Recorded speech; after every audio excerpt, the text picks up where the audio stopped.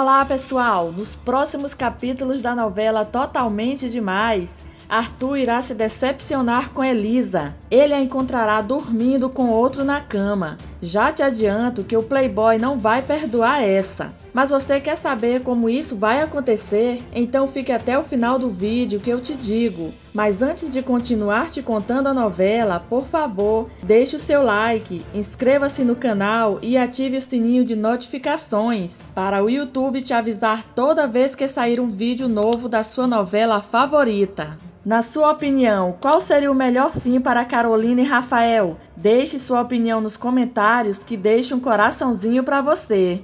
Ao longo do concurso, Arthur e Elisa foram se aproximando cada vez mais. Carolina, sempre com muitos ciúmes, fez e ainda faz de tudo para tirar a ruiva do seu caminho. Agora já não é mais por causa do concurso, pois ela já perdeu a aposta para o dono da Excalibur. Agora é pessoal. Carolina não aceita ver Elisa feliz ao lado do galã de olhos azuis. Ela está disposta a fazer qualquer coisa para ter Arthur de volta. Que loucura! Sabendo que Arthur não poderá ir para o Uruguai por conta do sumiço de Jojo, Carolina tramará um novo plano para afastar Elisa de uma vez por todas dele. Desafeto de Germano, Rafael participará desse plano sujo da megera. Ah, eu acho que essa viagem vai ser mais interessante do que eu imaginava. Rafael pergunta: Como assim? Ela responde: Pensa comigo, Rafael. Vamos, eu, você e a Elisa. Ela, além de namorada do Arthur, é filha do Germano. Um prato cheio para uma vingança, não é? Para mim e para você. Carolina quer se vingar de Elisa por ter perdido Arthur para a ruiva, e Rafael quer se vingar de Germano pela humilhação que passou na boate, quando Germano e Lili o culparam por ter agredido Sofia ali na frente de todos. Além de ter perdido a namorada para o presidente da Bastille, que voltou com a esposa. Arthur e Natasha encontram Jojo em Curicica. Elisa, Rafael e Carolina chegam em Montevidéu. A ruiva fica encantada pela cidade e pelo hotel no qual ficarão hospedados. Carolina inventa um passeio na cidade. Elisa fica radiante. Na intenção de colocar o seu plano em prática, Carolina chama Rafael em particular e diz: Vem cá, presta atenção. Eu vou me sentir muito mal. Infelizmente, não vou poder acompanhar vocês dois nesse passeio. Ele fala: Tá bom então. E qual é a ideia? Ela diz: a ideia é você voltar no tempo. No tempo que você era um sedutor ordinário, você vai jogar todo o seu charme em cima da caipira deslumbrada. Além de namorada do Arthur, ela é filha de Germano. Os dois vão ficar enlouquecidos se vocês dois tiverem um caso. Rafael questiona: Tá, tudo bem. E se ela não quiser nada comigo? O que é possível, hã? E aí? Eu não vou forçá-la nada. Carolina diz que ele não precisa, ele é fotógrafo. Vocês vão tirar umas fotos sozinhos, caprichar nos olhares, faz umas selfies, você sabe o que eu tô falando, Rafael. Detesto o clichê, mas nesse caso, uma imagem vale mais que mil palavras. Elisa, toda inocente, fica encantada com tudo que vê à sua volta e fica mostrando para Rafael, cheia de alegria, por estar tendo sua primeira viagem internacional. Os dois passeiam pela cidade. O mau caráter tira várias fotos da ruiva e joga todo o seu charme para ela.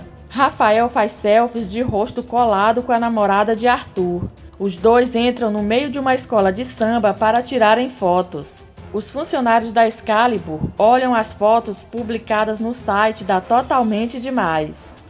Max acha que Rafael e Elisa estão muito coladinhos e liga para Arthur para avisar. O loiro pega o tablet, olha as fotos e pergunta: o que esse canalha está fazendo grudado na minha namorada. Tira a mão daí, cara. Mas o que ele não espera está para acontecer. Fique até o final do vídeo para saber de tudo. Arthur fica furioso. Jojo o convence a ligar para a ruiva. Ele liga para Elise e pergunta se Rafael está dando em cima dela. Ela fala que não e que o fotógrafo está sendo muito gentil com ela. Arthur fica convencido de que está tudo bem. Então, os dois se despedem. Na sequência, Rafael dá em cima de Elisa sem que ela perceba. Ele a convida para jantar. Ela recusa o convite. Antes de Elisa subir para o quarto de hotel, Rafael dá um beijinho no rosto dela.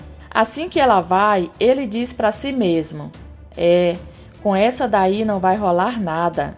O dia amanhece. Carolina e Rafael conversam antes das sessões de foto. Ela questiona: Então, Rafael, como é que foi com a Elisa ontem? Conseguiu?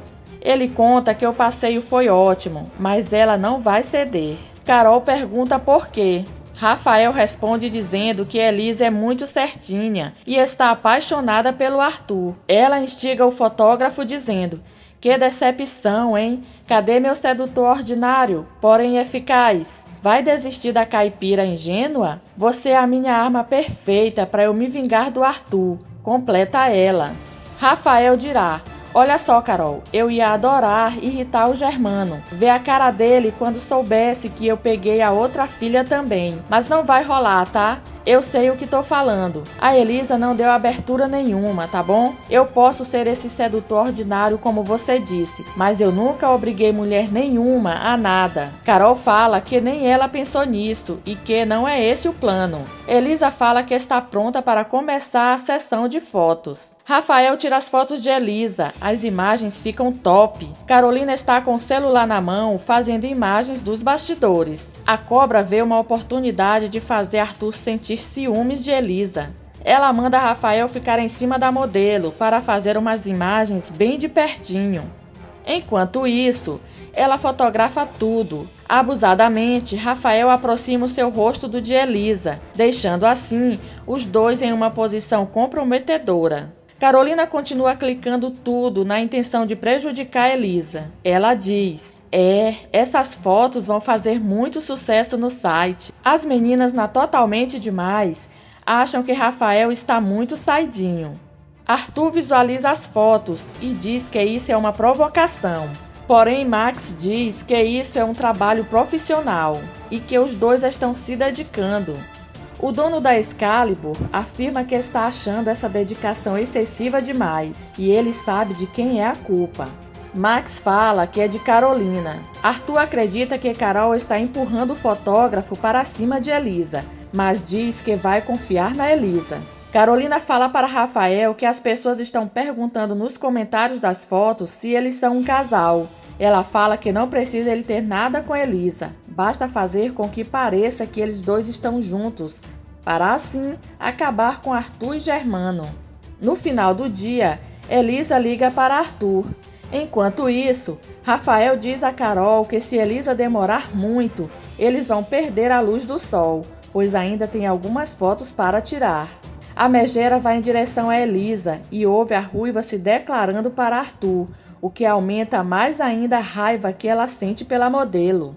Depois da última sessão de fotos, Carolina avisa que vai haver um jantar de negócios e Elisa terá que participar. Carolina vai até o quarto de Rafael e mostra algo para ele que vai lhe deixar com muito mais sede de vingança.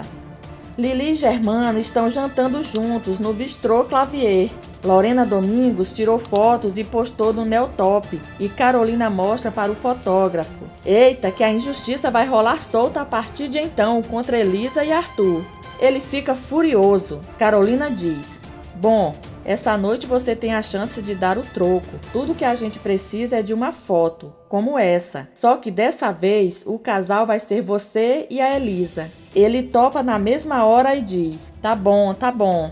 Jojo convence Arthur a ver Elisa no Uruguai. Tudo pronto e o jantar começa. Rafael oferece vinho para Elisa. Ela recusa, mas Carolina insiste para ela tomar. A Estelinha não te deu essa aula de etiqueta? Elisa resolve beber então e diz que é gostoso. Arthur liga para Elisa dizendo: meu amor, adivinha quem acaba de reservar um voo para Montevidéu amanhã cedo? Elisa fica muito radiante em saber que seu namorado está indo lhe visitar. Então ela diz: Ah, não, eu não acredito. Você está vindo para cá? E a Jojo? Ele diz que a Jojo não vai, mas a ideia foi dela. Vai ser a nossa lua de mel, fala ele. De tanto gostar da ideia da adolescente, Elisa fala que terá que comprar um presentão para sua enteada, porque ela está merecendo. Carolina fica só observando ali e já maquinando algo contra a ruiva. Elisa finaliza a ligação mandando um beijo para Arthur. Carolina questiona: É impressão minha ou o Arthur tá vindo para cá? Elisa responde: Chega amanhã, não é incrível? Carolina fala que não entendeu e que eles vão embora no dia seguinte. Então Elisa fala: Vocês, né? Porque eu vou ficar aqui com ele. Como meu namorado disse, vai ser a nossa lua de mel. Falsamente, com o copo na mão, Rafael diz: Eu acho muito bom. Um brinde a isso. Inocentemente, Elisa brinda com eles. Elisa sente vontade de ir ao banheiro e sair imediatamente da mesa. Carolina diz para Rafael: Lua de mel era só o que me faltava. Olha aqui, Rafael, a gente tem que agir rápido, hein? Eu preciso produzir essa foto. Depois que Elisa volta do banheiro, eles conversam sobre vinho. Elisa afirma que nem bebeu muito, mas já está se sentindo meio tontinha. Ela diz que se sujou de doce de leite. Carolina fala que se ela passar uma aguinha, com certeza sai. A ruiva pega um pedaço de pano e coloca dentro do copo com água. Na intenção de Elisa ficar ausente novamente e dessa vez dar um tiro certeiro na ruiva, Carolina vai dizer: mas não na mesa, Elisa. Isso é tipo de coisa que se faz no banheiro. Elisa fala que não tem necessidade de ser no banheiro. A Estelinha quer dizer sua sogrinha também não te ensinou isso, não? Ela responde: Me ensinou sim, e ela também me ensinou a sorrir para pessoas desagradáveis. Gente, vamos pedir essa conta logo? Tô louca para acordar os beijos com Arthur. Carol diz que tinha esquecido que o príncipe encantado de Elisa chega amanhã para a lua de mel. A ruiva afirma que não acha que ele seja um príncipe encantado, mas acredita no amor que ele sente por ela e no amor que ela sente por ele. Que lindo e tolo. Vai, vai no banheiro, dirá Carolina, mandando a ruiva sair para ela poder fazer algo terrível com Elisa. Na sequência, Elisa pede licença, sai da mesa e vai ao banheiro. Percebendo que Rafael já está ficando para lá de Bagdá, Carolina diz: Ô Rafael, olha aqui, você segura sua onda, hein? Daqui a pouco você não tá prestando para mais nada. É agora ou nunca. Rafael fala que não vai fazer nada do que ela não queira. Carolina diz que nem quer que ele faça um absurdo desse. Eu já falei para você que você não tem que fazer nada, só tem que parecer que você fez. Nesse instante, Carolina pega o vidrinho de Boa Noite Cinderela e prepara para colocar umas gotinhas no copo de Elisa. Rafael vê e questiona o que ela está fazendo. Oh, oh, oh, o que é isso? Veneno? Ela diz: Deixa de ser ridículo, Rafael. Isso é inofensivo. O que, que é? Você desistiu? Não quer mais a sua vingança? Rafael lembra de Germano dizendo a ele que voltou com Lili. Na sequência, ele dá um gole na bebida e fala: Germano acha que esse jogo tá ganho, mas ele tá muito enganado. Tá, ele pode ter afastado a Lili de mim, mas vai enlouquecer quando achar que eu peguei a outra filhinha dele. Então Carolina fala: Uh, é assim que se fala, meu amigo. A vingança é um prato que se come frio, mas é tão gostoso. Ela coloca então o Boa Noite Cinderela na bebida de Elisa. Depois que a ruiva chega do banheiro, Carolina instiga a beber o drink adulterado. Então ela diz: Vamos, Elisa, vai, acaba essa tacinha aí pra gente ir embora. Elisa diz: Ai, gente, não quero, eu já bebi demais, só quero voltar pro hotel. Rafael diz que o restaurante pediu outra foto deles. Ela fala que eles já tiraram um monte. Carolina diz, mas não tirou brindando. Vamos, gente, vamos matar isso logo, vai. Brindando é muito mais legal. Vai, levanta aí. Vamos lá, ânimo. Diz Carol. A megera tira fotos de Elisa e Rafael brindando. Ela insiste que eles têm que beber o vinho. Elisa fala que essa é a última taça, pois ela já bebeu bastante. Elisa bebe o vinho com Boa Noite Cinderela. Na hora de voltar para o hotel, Elisa não consegue mais se segurar em pé. Ela cai e Rafael a segura. Carolina diz que deve ser por causa do vinho, mas não é para ela se preocupar que ela vai direto para a cama. Rafael vai levando Elisa abraçado com ela. Depois de outras cenas, os três já estão no hotel caminhando em direção ao quarto. Carolina o tempo todo fica tirando fotos dos dois. Eles chegam no quarto. Rafael derruba Elisa na cama, caindo por cima dela. Carolina fala: Tá vendo como não precisa de muito? Se alguém olha, você tá só segurando ela. Mas se alguém olha essas fotos assim, vão pensar exatamente o que eu quero. Vocês passeando pelo Uruguai, tomando um vinho. Rafael fala que a maldade está nos olhos de quem vê. Carol afirma que, no caso, no belo par de olhos azuis do Arthur. No final, Carolina fala: agora só falta a cereja do bolo. Ela manda Rafael tirar a roupa e deitar na cama com Elisa. O pilantra fica de conchinha, agarradinho na ruiva com a perna por cima dela, enquanto Carolina tira um monte de fotos comprometedoras. Tá ótimo assim, só uma foto. Você deitado com ela na cama é mais que suficiente para enganar aqueles arrogantes, diz Carol. Rafael pega no sono agarradinho em Elisa. Carol apaga a luz e deixa o quarto. O dia amanhece. Arthur já está no Uruguai com flores e champanhe para impressionar a namorada. Ele chega no hotel e fala com a recepcionista perguntando onde fica o quarto onde Elisa está hospedada. A mulher então vai interfonar para o quarto, mas o playboy avisa que é surpresa. Ele vai direto para lá. Ele pede para uma funcionária do hotel abrir a porta do quarto para ele fazer uma surpresa para a namorada. Arthur entra no quarto todo feliz. Assim que ele olha para a cama, vê Rafael e Elisa dormindo juntos de conchinha.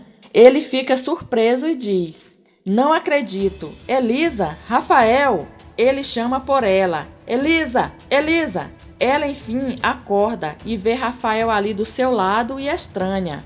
Ela empurra o mau caráter e diz: Rafael, acorda! Rafael, acorda! Ele, atordoado, pergunta: O que foi? O que aconteceu? Elisa olha para Arthur e fala: Eu juro que eu não sei. Arthur fala que ele sabe bem. Eu sei bem. Ô Arthur, cara, não é nada disso que você está pensando. Dirá Rafael. Arthur manda ele calar a boca. Seja pelo menos original, grita ele. Ela chora dizendo que não lembra de nada. Arthur fala: Elisa, faça-me o favor, como é que vocês vieram parar nessa cama, hein? Arthur, eu lembro que eu tinha bebido, eu tava tonta, eu tava com sono, eu não tava nem conseguindo andar sozinha, diz Elisa. É um clássico, a culpa é da bebida, comenta o empresário. Elisa grita: Não, não aconteceu nada. O Rafael só me ajudou a entrar no quarto. Não foi? Não foi isso? Questiona ela a Rafael. Tô percebendo, ele deve ter te ajudado bastante, diz Arthur. Elisa manda Arthur parar. Para, Arthur. Fala, fala, Rafael. Fala o que, que aconteceu. O que você tá fazendo aqui na minha cama? Questiona ela. Rafael demora a responder. Então Arthur grita: Fala, cara, o que vocês fizeram? Rafael então diz: A gente dormiu, foi só isso. A gente saiu, a gente bebeu um monte. Eu vim te trazer no quarto. A gente estava morrendo de sono e eu não sei, eu acho que eu acabei dormindo. Não sei, mas Arthur, não aconteceu nada. Disse eu tenho certeza. Não aconteceu nada. Cai fora daqui, seu canalha, dirá Arthur. Rafael diz para a ruiva: Elisa, qualquer coisa eu tô no meu quarto. Você sabe o número do meu quarto. Arthur grita com ele mais uma vez: Cai fora, seu palhaço! Então ele deixa o quarto. Arthur fala para Elisa: Quer dizer, na verdade, o palhaço sou eu, né? Agora tenta me convencer. Tô esperando, Elisa. Então ela diz: Eu juro que eu queria saber por onde começar, mas é que não sei o que aconteceu.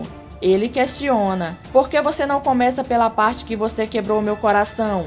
Ela chora, dizendo: Não fala assim, que eu não fiz isso. Arthur fala: Que ironia, eu ser pisoteado justamente pela garota ingênua por quem me apaixonei de verdade. Eu mereço, eu mereço. Ela continua: Não, não, não, por favor, olha para mim.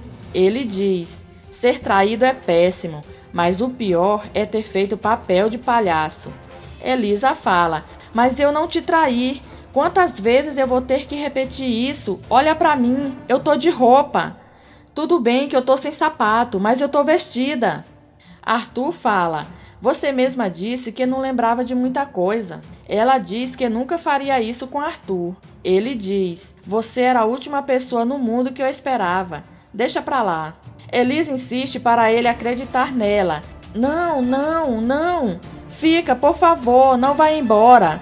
Arthur, eu não fiz nada de errado, eu juro.